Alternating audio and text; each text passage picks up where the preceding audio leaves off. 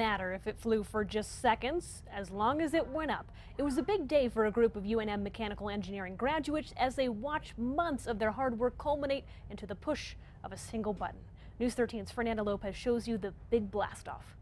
Yeah, very exciting. They waited anxiously, Uh, looking forward to a pretty spectacular launch. Perched on top of cars, Hopefully it'll go good and go Lobos. hoping to get a glimpse at a significant event in UNM's history. It's just it's just amazing. No one has come close to this size of a rocket. It's the largest amateur rocket ever built, the work of UNM mechanical engineering students. A lot of long hours. The students behind the rocket, 48 feet tall and just over 250 pounds, already got their grades for this project. In fact, they've had their degrees for two weeks already.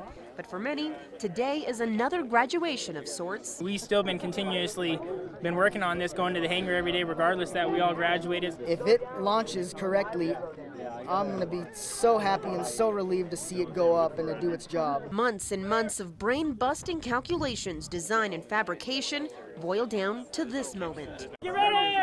All before more than 100 excited spectators. But it definitely puts the pressure on you because now you, more than anything, want to have a successful launch.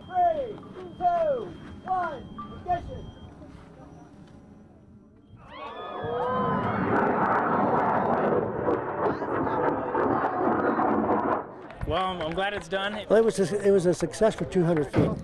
I mean, it was flying really good for 200 feet. I mean, it was still cool. I mean, it was a hell of a show. Fernanda Lopez, KRQE, News 13.